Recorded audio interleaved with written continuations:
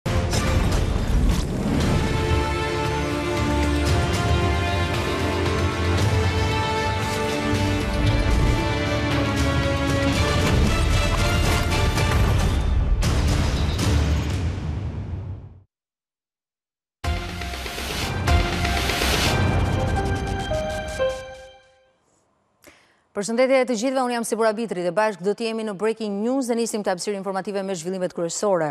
Dan Hutra tenton arratisjen nga burgu i Fierit. I dënuari me rrezikshmëri të lartë, po përgatitej për planin e largimit bashkë me tre të dënuar të tjerë, por u parandalua nga policia e burgut. Në qelinë e tij u gjetën çarçafë të përshtatur si litar, si dhe mjete prerëse. Dan Hutra është arrestuar për vrasjen e tre grave dhe plagosjen e tre të tjerave në prill të këtij viti.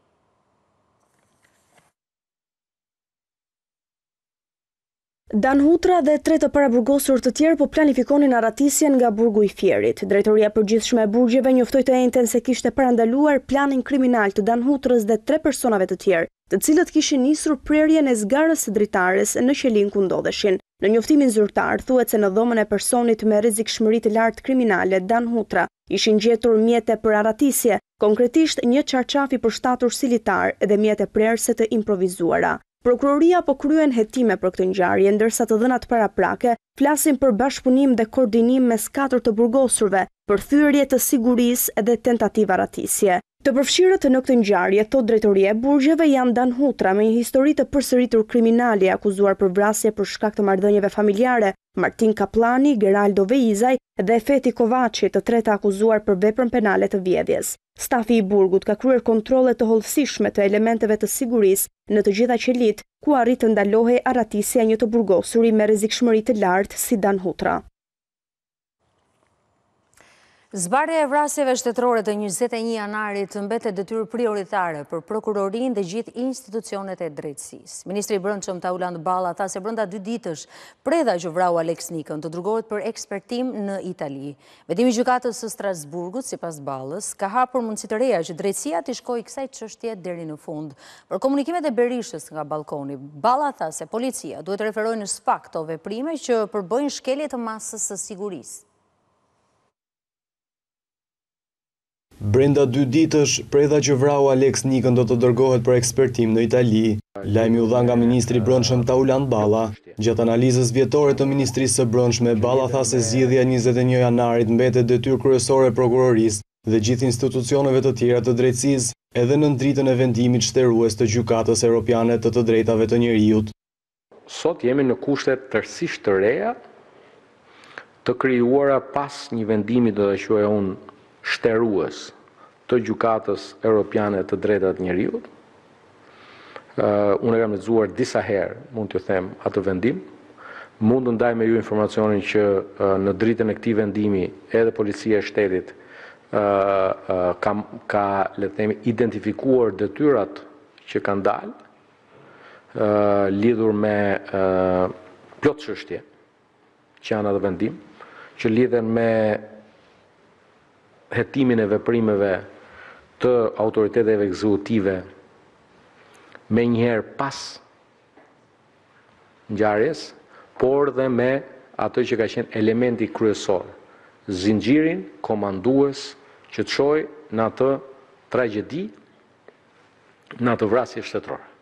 Duke u ndalur tek vendimi i Gjykatës Speciale për Sali Berishën dhe komunikimet e tij me mbështetësit nga ballkoni i banesës ku ndodhet i izoluar me masën e arrestit në shtëpi, ministri Balla u shpreh se ligji është i qartë. Nuk kam pasur asnjë kontakt me Policinë e Shtetit, sa i përket detyrës që ka Policia e Shtetit që shtetasi në fjalë të trajtohet njëlloj si çdo shtetas tjetër në këtë vend. Dhe policia ka të përcaktuar nga urdhri i dy prokurorëve se si e ushtron kontrollin në zbatimin e këtij vendimi.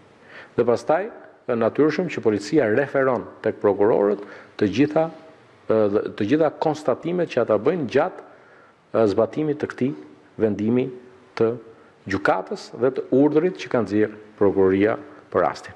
Përsa i përket ekstradimeve të elementëve kriminalë nga jashtë vendit, Balla theksoi se pamundësia për të ekstraduar personat në kërkim duhet të marrë fund.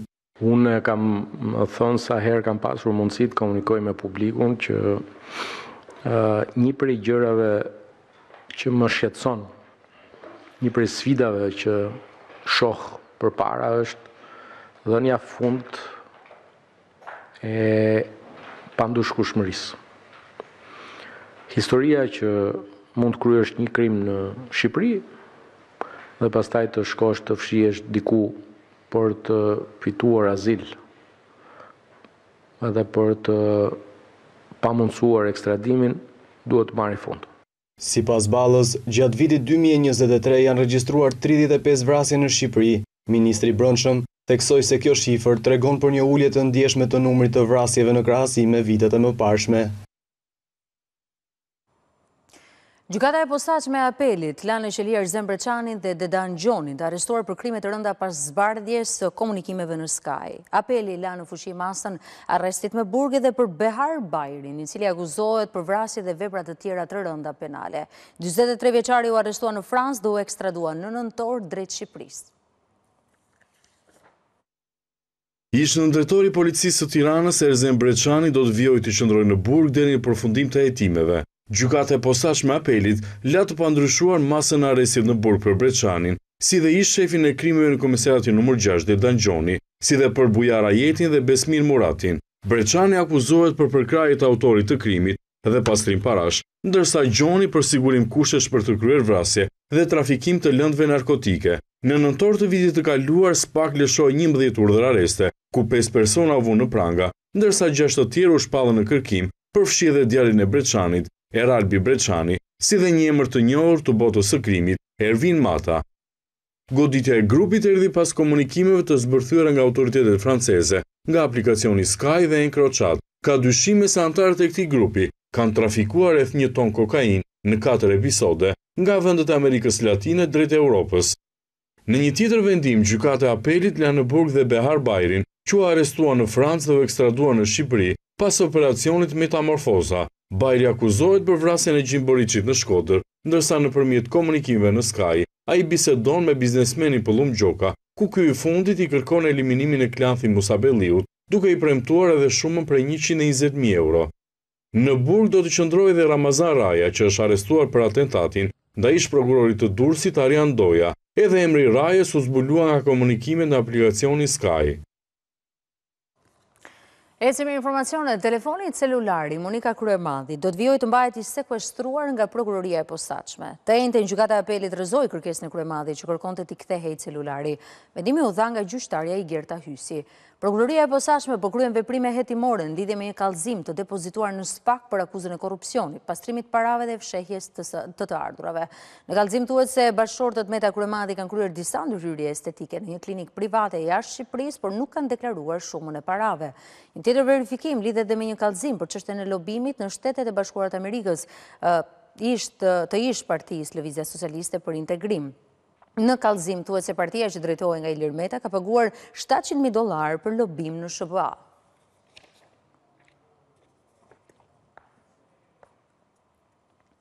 Dy gjeorgjianë janë arrestuar teksa tentuan të linin territorin e Shqipërisë me një sasi të konsiderueshme bizhuterish të dyshuara të vjedhura. Ata janë vënë në pranga në pikën kufitare të Kakavijës, ndërsa policia ka sekuestruar 190 bizhuteri të ndryshme floriri dhe argjendi Dy monedha floriri dhe gjashtë mijë euro. Këto bizhuteri të dyshuara të vjedhura u gjetën në makinën e dy shtetasve nga Gjeorgjia. Ata u arrestuan në pikën kufitare të Kakavijës, teksa po tentonin të linin Shqipërinë. Omar, Genadi dhe Uta Eliria i kishin fshehur sendet me vlerë në kroskotin e mjetit që udhëtonin. Aty policia gjeti dhe sekuestroi njëqind e nëntëdhjetë bizhuteri të ndryshme floriri dhe argjendi, dy monedha floriri, një orë dore markës Rolex, çelësa për hapjen e dyerve dhe kasafortave, si dhe rreth gjashtë mijë euro. Nga hetimet paraprake rezulton se ata i kanë kryer vjedhjet në argjendari të ndryshme të vendit. Për të zbuluar subjektet që kanë rënë pre gjeorgjianëve, po shihen denoncimet për vjedhje bizhuterish që mund të jenë bërë kohët e fundit, hetuesit po punojnë për dokumentimin e plotë të veprimtarisë kriminale dhe identifikimin e personave të tjerë të përfshirë në të.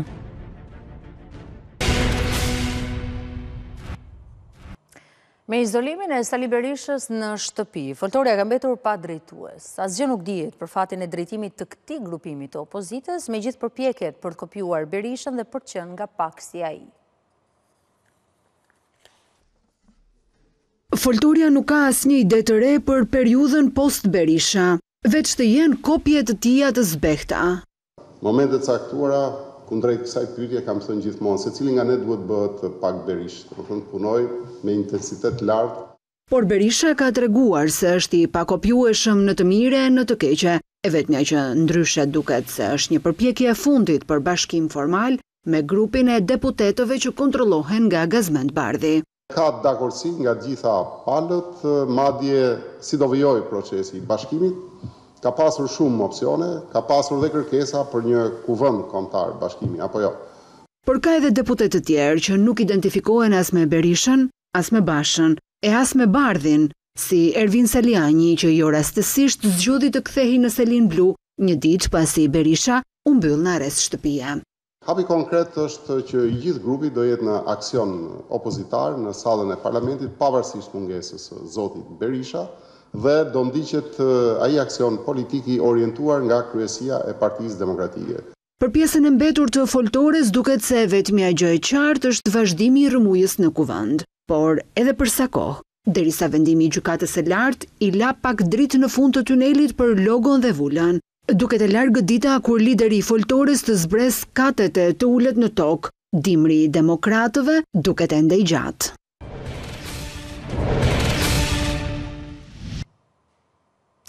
Jemi rikthyer drejtpërsëdrejti në Breaking News, ndalemi tek zhvillimet e ekonomisë. Viti 2023 është mbyllur me një bilanc pozitiv për energjinë elektrike.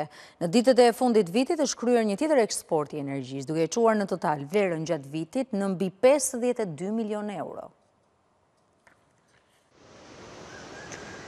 Sektori energjetik ka pasur një ecuri pozitive gjatë vitit që sapo u mbyll. Për shkak të mirëmenaxhimit të situatës, Korporata Elektroenergjitike ka realizuar një tjetër procedurë të shitjes së energjisë gjatë javës së fundit të vitit. Nga eksporti i energjisë me dy lote janë arkëtuar rreth gjashtëqind e nëntëmbëdhjetë mijë euro. Ndërkohë, në total, përgjatë vitit dy mijë e njëzet e tre, KESH ka arkëtuar pesëdhjetë e dy pikë dy milionë euro, duke përmirësuar financat e kompanisë. Në krahasim me një vit më parë, eksportet e energjisë janë rritur me rreth pesëmbëdhjetë milionë euro. Moti i favorshëm dhe me reshje intensive gjatë javëve të fundit të vitit, ka rritur rezervën energjetike në vend. Niveli i ujit në Liqenin e Fierzës Rezulton se është dyqind e tetëdhjetë e gjashtë metra mbi nivelin e detit, ose gati njëmbëdhjetë metra më shumë nëse e krahasojmë me një muaj më parë. Aktualisht, Fierza nuk po prodhon energji, si një masë për të shtuar rezervën energjetike, ndërkohë që nevojat e vendit me energji elektrike po plotësohen nga dy hidrocentralet e tjerë. si Komani dhe Vau i Dejës. Ndërkohë sipas të dhënave të Entit Rregullator të Energjisë, vetëm në dhjetë muaj prodhimi i energjisë elektrike preku nivelin shtatë pikë një milionë megavatorë, ndërsa energjia e prodhuar përgjatë gjithë vitit dy mijë e njëzet e dy ishte vetëm shtatë milionë megavatorë. Në tridhjetë e një dhjetor të vitit dy mijë e njëzet e tre ka përfunduar afati i emergjencës për energjinë elektrike në vend. i vendosur nga qeveria që prej tetorit të vitit dy mijë e njëzet e një, për shkak të rritjes së fortë të çmimeve të energjisë pas nisjes së konfliktit të armatosur Rusi-Ukrainë, përtej përmirësimit të situatës energjetike në vend, edhe çmimet e energjisë në tregjet ndërkombëtare janë stabilizuar, duke arritur në nivelin më të ulët në dy vitet e fundit.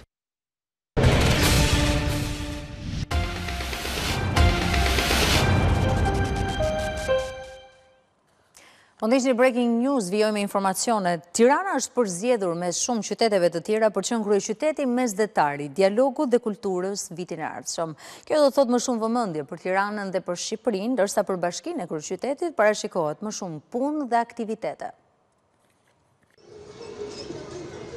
Tirana është shpallur kryeqyteti mesdhetar i kulturës dhe dialogut për vitin dy mijë e njëzet e pesë. Sapo kemi marrë lajmin që Tirana është fituese për titullin kryeqyteti mesdhetar i kulturës dhe dialogut për dy mijë e njëzet e pesë. Titulli i jepet atij qyteti që do të përfaqësojë më së miri identitetin mesdhetar dhe Tirana u përzgjodh si fituese pas aplikimi mes shumë qyteteve të tjera. Por çfarë përfiton kryeqyteti shqiptar nga ky titull? Praktikisht është një përpjekje për ta mbajtur kryeqytetin tonë në nën dritën, nën projektorët e vëmendjes, le të themi, europiane dhe rajonale, që sa më shumë gjëra të ndodhin këtë qytet, që emri i qytetit të dëgjohet, që të rinjtë, artistët, profesionistët e lirë të shkëmbejnë me me homologët e tyre nëpër nëpër gjithë kontinentin. Me mbajtjen e këtij titulli, kryeqyteti do të kthehet në një urë bashkëpunimi mes qyteteve dhe aktorëve në fusha të ndryshme. Mendoj që aplikimi i Tiranës ishte i suksesshëm sepse ne u fokusuam shumë tek koncepti i Shqipërisë dhe Tiranës si një urë, urë civilizimesh, urë mirëkuptimi, urë dialogu, shtyjmë përpara disa nga gjërat që ne i mendojmë më të rëndësishmet për kulturën dhe imazhin tonë, harmoninë fetare, kohezionin dhe bashkëjetesën e paqshme mes komuniteteve. Genci Kojdheli, drejtor i përgjithshëm i projekteve strategjike dhe zhvillimit ekonomik në Bashkinë e Tiranës, thotë se do të nisin menjëherë punën dhe se shumë samite ndërkombëtare do të mbahen në kryeqytetin shqiptar. Përgjatë vitit dy mijë e njëzet e katër do të flasim, pra do të kemi një dialog të hapur me gjithë përfaqësuesit e shoqërisë civile dhe le të themi gjithë ekosistemit të artistëve dhe të përfaqësuesve të kulturës, do të identifikojmë fushat ku do të fokusohemi dhe ku do të ketë më shumë aktivitete përgjatë vitit 2025. Presim edhe që shumë evente të unionit të ndodhin në Tiranë përgjatë vitit, pra konferenca, samite, workshope të rëndësishme që do të sjellin vizitorë Dhe vëmendje mbi mbi kryeqytetin. Tirana e mbylli vitin dy mijë e njëzet e tre si kryeqytet i sportit, teksa një vit më parë mbajti titullin kryeqyteti europian i rinisë, ndërsa përgjatë dy mijë e njëzet e katër-s, Tirana ka presidencën e B dyzet, Unionit të Qyteteve Ballkanike. Ju ftoj të ndiqni radion ABC News në valët njëqind e pesë FM. Ku do të përditësoheni me zhvillimet e fundit. Në njëqind e pesë FM. Duke marrë shkas nga zhvillimet e fundit në Kosovë, ku kanalet Shqip u hoqën nga platforma Kujtesa, Digitalb sqaron qytetarët e Kosovës është i hapur për bashkëpunim dhe distribucion të kanaleve televizive kundrejt të gjitha platformave televizive dhe të telekomunikacionit në Republikën e Kosovës në mënyrë që i gjithë publiku në Kosovë të ketë qasje. Duke marrë shkas nga situata lidhur me distribucionin e kanaleve Digitalb, Supersport, Top Channel dhe TV Klan, në Republikën e Kosovës, Digitalb përmes këtij komunikimi sqaron se. Që prej vitit të largët dy mijë e katër, Digitalb u krijua si një platformë televizive me një qëllim të vetëm, atë të ruajtjes së gjuhës shqipe dhe bashkimit kulturor mes shqiptarëve kudo në botë. Natyralisht, kanalet Digitalb filluan distribucionin në Kosovë, njëkohësisht me Shqipërinë, Duke mos njohur asnjë barrierë të kohës, fjalët Bashkim Kombëtar, për ne në Digitalb, kanë qenë në qendër të vizionit dhe strategjisë sonë. Ne jemi krenarë të themi që Digitalb i ka paraprirë politikës dhe ekonomisë në shkrirjen e kufijve mes shqiptarëve. Mes Shqipërisë dhe Kosovës ka akoma kufij gjeopolitikë, por kufij kulturorë, gjuhësorë, sportivë e shpirtërorë nuk ka dhe këtu Digitalb ka luajtur një rol kryesor. Nisur nga spekulimet e ditëve të fundit, Digitalb deklaron se është i hapur për bashkëpunim dhe distribucion të kanaleve televizive kundrejt të gjithave platformave televizive dhe të telekomunikacionit në Republikën e Kosovës në mënyrë që gjithë publiku në Kosovë të ketë qasje. Kompania po punon në këtë drejtim dhe të gjithë operatorët e interesuar nga Kosova janë të ftuar të lidhin marrëveshje me Digitalb për këtë qëllim.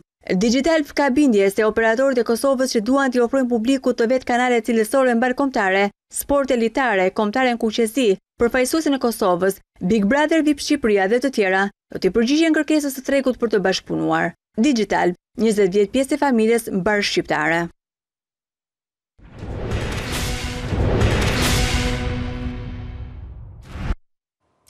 Dhe jemi me një zhvillim të fundit, oficerët e policisë janë në banesën e Sali Berishës, i cili për të bërë një verifikim për zbatimin e masës së sigurisë, i cili është nën këtë masë sigurie. Unë lidhem me kolegun Ervin Leka, i cili ndodhet pikërisht poshtë kësaj banese. Ervin të përshëndes, më thuaj pak, Meqenëse masa e sigurisë është arrest shtëpie me mbikëqyrje policore. Tani si funksionon kjo pjesa e mbikëqyrjes? Është një oficer policie që rri gjithë kohës pranë banesës dhe kjo është pjesë e procedurës verifikimi i herëpashershëm nga oficerët e policisë për të parë nëse është në banesë apo jo? Ju përshëndes atëherë pas vendimit që mori edhe gjykata e posaçme pra për caktimin e masës së sigurisë nga arresti pra në shtëpi për Sali Berishën duket se oficerët e policisë në drejtorinë e përgjithshme të Tiranës pra siç ishte edhe Erion Ismaili drejtor i krimit ekonomik në Tiranë ka ardhur vetëm pak minuta më parë i shoqëruar edhe nga oficerë të tjerë për të verifikuar zbatimin e kësaj mase të sigurisë që u vendos nga gjykata e posaçme për ish-kryeministrin Sali Berisha.